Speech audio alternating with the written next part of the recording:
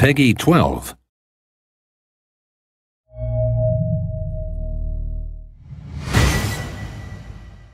Welcome to WildStar. This is DevSpeak. Do not feed the disclaimer. It's time to unleash the people's eyebrow of classes. He prefers to be known as the Warrior! Our goal with the Warrior was to make a close range, brute force brawler that uses high tech weaponry and atomic energy to close distances, generate threat, and bring the damages. He's kind of a nuclear powered Swiss Army knife attached to a pro wrestler.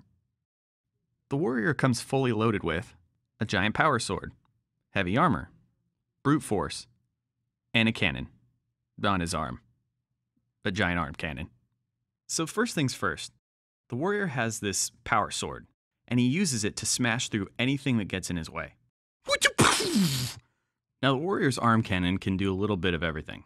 Shoot this fool, grapple that guy, power saw this thing, water some flowers. Then you've got my favorite part his 1980s wrestling moves.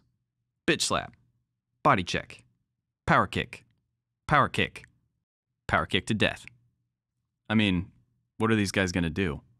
You've got heavy armor, yeah.